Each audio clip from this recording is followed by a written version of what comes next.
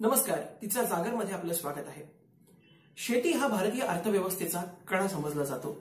मात्र शेतीसाठी उपयोगी असणाऱ्या हवामान वर्तवणाऱ्या हवामान वेधशाळा ह्याच आजकालच्या जमान्यामध्ये पूर्णपणे निकामी ठरल्यामुळं शेतकरी हवालदिल झालाय.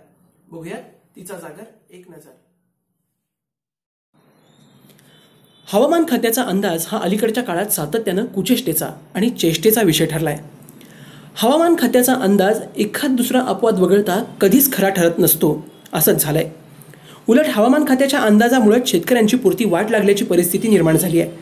यामुळेच संतप्त स्वाभिमानी शेतकरी संघटनेच्या परभणी येथील कार्यकर्त्यांनी हवामान खात्याविरुद्ध फसवणुकीचा गुन्हा चारशे वीस कलमान्वये पोलिसात दाखल केला आहे खतं आणि औषध बियाणं कंपन्यांच्या सुपाऱ्या घेऊन हवामान खातं आपला अंदाज व्यक्त करत असल्याचा आरोप शेतकऱ्यांनी केला आहे स्वाभिमानी शेतकरी संघटनेचे अध्यक्ष खासदार राजू शेट्टी यांनीही हवामान खात्याच्या फसव्या अंदाजाबाबत संताप व्यक्त करीत एखाद्या कसलेल्या राजकीय नेत्याच्या स्वभावासारखा अंदाज येईल मात्र हवामान खात्याचा अंदाज नाही खरा ठरणार असा खासदार राजू शेट्टी यांनी म्हटलं आहे हवामान खात्यानं यावर्षी सरासरीपेक्षा जास्त पावसाचा अंदाज व्यक्त केला.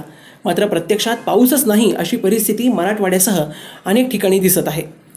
हवामानाच्या अंदाजाबाबत परदेशांमध्ये मिनिटा मिनिटाला अचूक माहिती मिळत असताना आणि तंतोतंत खरी ठरत असताना भारतात मात्र असं का घडत नाही असा सवाल करताना पंतप्रधान नरेंद्र मोदी यांनी एखादा परदेश दौरा रद्द करून हवामानाच्या अचूक अंदाजाबाबत एखादं सॅटेलाईट सोडावं असं खासदार राजू शेट्टी यांनी म्हटलं आहे हवामान खात्याचा खेळ होतो मात्र शेतकऱ्यांचा जीव जातो अशा शब्दात शेट्टींनी आपल्या संतप्त भावना व्यक्त केल्या. दरम्यान मिळालेल्या माहितीनुसार हवामान खात्याच्या संबंधित क्षेत्रातील तज्ज्ञांची नियुक्ती न करता भलत्याच लोकांची नियुक्ती करण्याचा प्रकार घडत आहेत. त्यामुळे एकूणच भारतात हवामान खातं आणि त्यांचा अंदाज हा कुचेष्टेचा विषय ठरलाय. ब्युरो रिपोर्ट तिचा जागर. याचबरोबर हे बातमीपत्र इथंच संपतंय. ताज्या आणि महत्त्वाच्या घडामोडींसाठी आपण पाहत राहा तिचा जागर.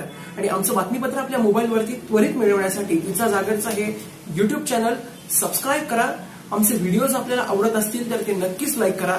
आपल्या काही प्रतिक्रिया असतील तर त्या कमेंट बॉक्समध्ये लिहायला विसरू नका. नमस्कार.